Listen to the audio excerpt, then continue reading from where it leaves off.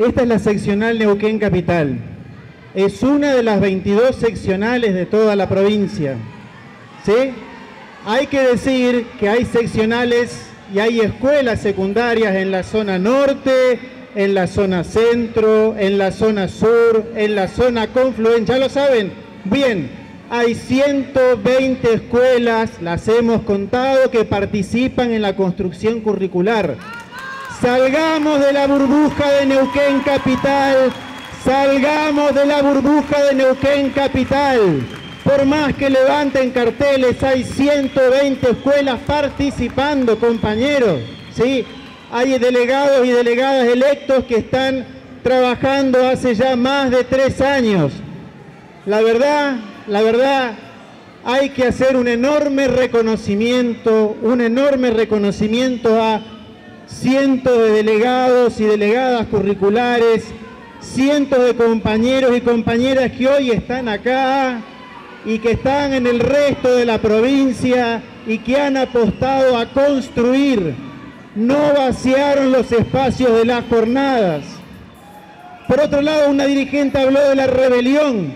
Hay que decir que la rebelión pedagógica en Aten en el nivel medio empezó en 2015. La rebelión empezó antes.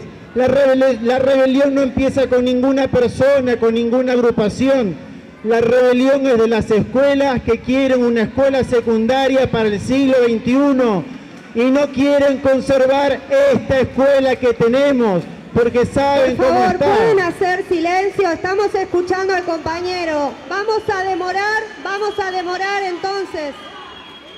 Si no hacen silencio, vamos a demorar la palabra. Van a rechazar, los, a ver, los compañeros que levantan en el cartel, van a rechazar la perspectiva de género del nuevo diseño curricular, van a rechazar la perspectiva de interculturalidad, van a rechazar las horas institucionales, van a rechazar las áreas construidas, van a conservar... perdón, compañero Lucas. Compañero, compañera, dijimos antes de comenzar con el debate que íbamos a parar el tiempo cada vez que no podamos escuchar. La palabra yo, por favor, en la asamblea, respetemos. Si ustedes rechazan la reforma, van a hacerle el juego a la secundaria 2030.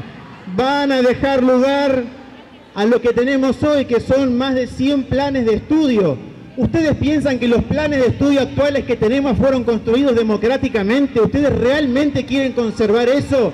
Ojalá que no. Ojalá que no.